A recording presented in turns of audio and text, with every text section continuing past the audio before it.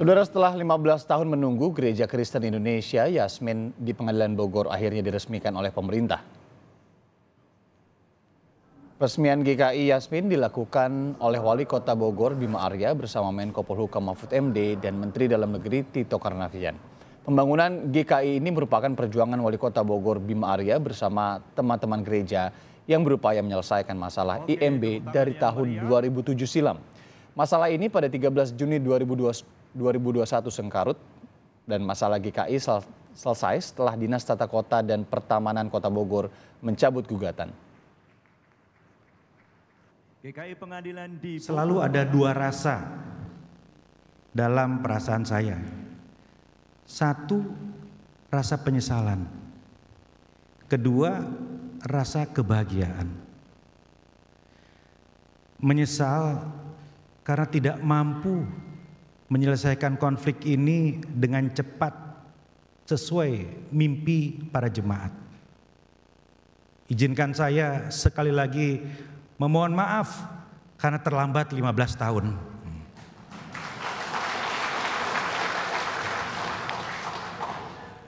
Bahagia karena setelah 15 tahun ujungnya adalah happy ending untuk semua.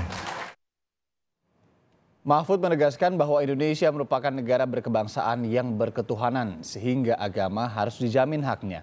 Peresmian Gereja Kristen Indonesia di Bogor, Jawa Barat ini merupakan bentuk nyata bahwa negara hadir menjamin hak konstitusi negara. Pemerintah Indonesia menjamin hak warga negara, khususnya umat Kristiani. Negara